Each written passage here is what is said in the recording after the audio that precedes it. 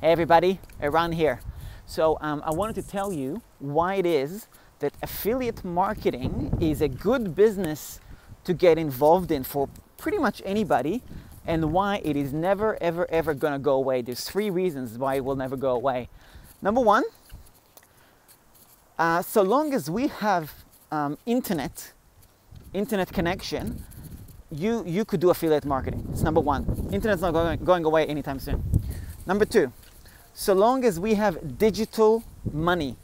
When I say digital money, I mean either credit cards or cryptocurrency, whichever way this whole bubble is going to blow up to, whether it's going to explode, whether it's going to burst, whether it's going to continue to grow, it doesn't actually matter.